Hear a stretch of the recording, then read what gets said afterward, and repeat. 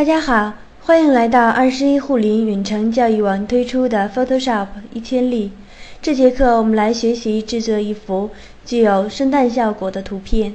首先，我们在工作区内打开素材文件，选择文件菜单，找到打开命令。找到素材文件之后，选择打开。接着，我们再来打开一幅素材图片，选择文件菜单，选择打开命令。找到素材文件之后，选择打开。打开之后，将天空图片拖动到当前的文件当中。拖动进来之后，我们按快捷键 Ctrl 加 T 进行调整当前图片大小和位置。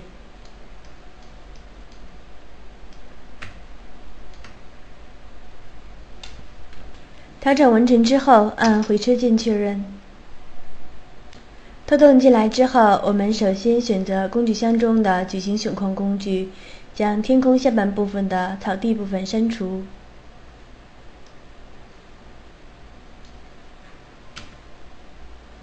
删除完成之后，按快捷键 Ctrl 加 D 取消选区。现在，我们将天空面板进行隐藏，选择背景层。选择工具箱中的魔术棒工具，点击白色的部分，选取选区。选择完成之后，按快捷键 Delete 进行删除。首先，我们先双击背景层，使其变成可编辑的图层，图层零，点击确定。接着，我们再来按 Delete 键进行删除。删除完成之后，调整图层一和图层零的图层顺序。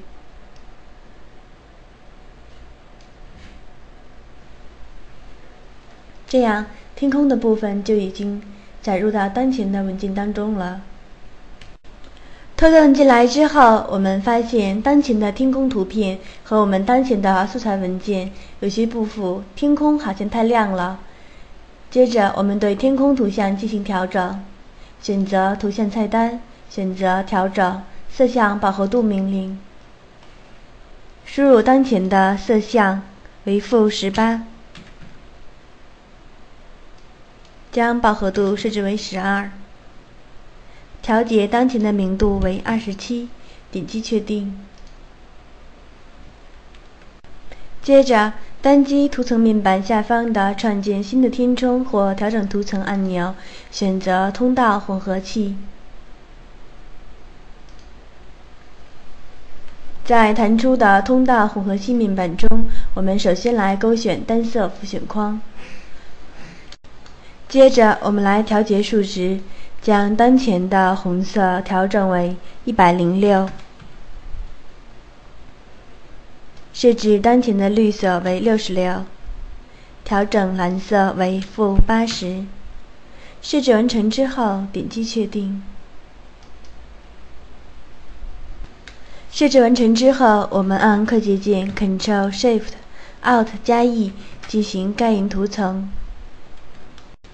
单击图层面板下方的“创建新的填充”或“调整图层”按钮，选择曲线命令。在弹出的曲线面板中，我们来调节当前的曲线数值。设置完成之后，点击确定。继续按快捷键 Ctrl Shift Alt 加 E 进行盖印图层。单击图层面板下方的“创建新的填充”或“调整图层”按钮，继续选择曲线命令。继续调节当前的曲线。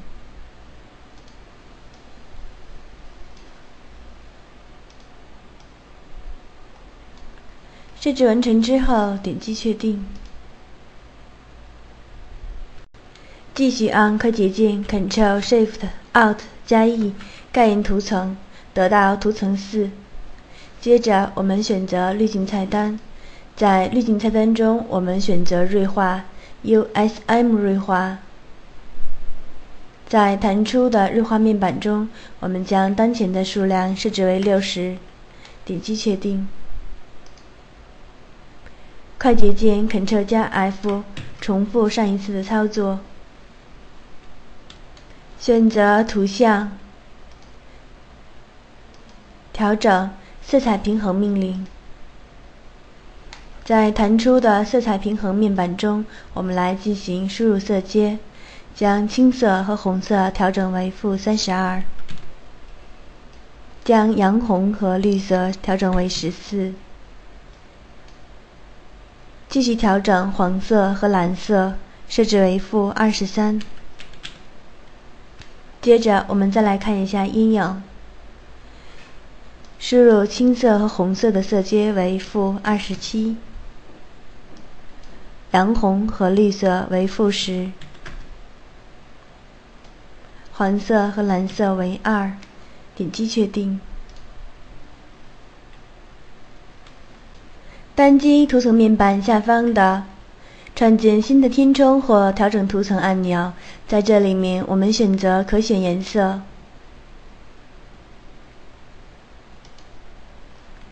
选择完成之后。在弹出的可选颜色选项面板中，我们在颜色中选择白色，将黄色的数值输入负三十五，点击确定。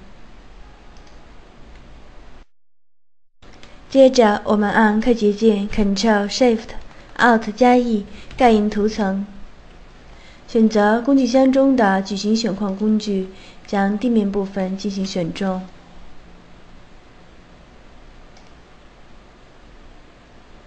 选中完成之后，我们选择滤镜菜单，在滤镜菜单中，我们选择扭曲，选择海洋波纹命令。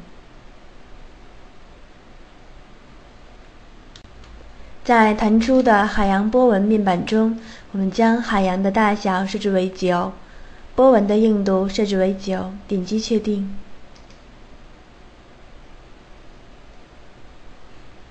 按快捷键 Ctrl 加 D 取消选区。接着，我们再来新建一个图层，单击图层面板下方的“创建新图层”按钮，创建新图层，图层六，将当前的前景色设置为白色，按快捷键 D。设置完成之后，我们选择工具箱中的画笔工具，选择星光式的笔刷。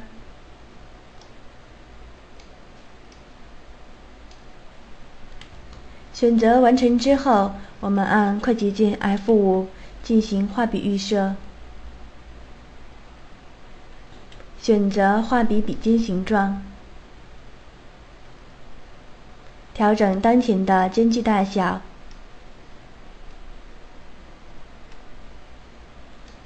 在这里我们设置为二百一十。设置完成之后，我们再来看一下形状动态。将大小抖动设置为最大，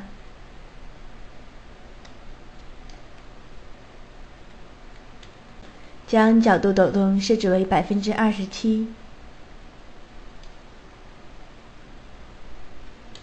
接着，我们来看一下散布，勾选两轴复选框，将当前的散布设置为三百五十。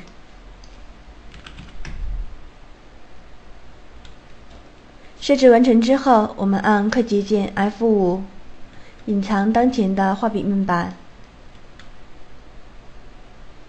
选择工具箱中的画笔工具，在当前的工作区内进行随意的绘画。涂抹完成之后，当前具有圣诞气氛的照片就制作完成了。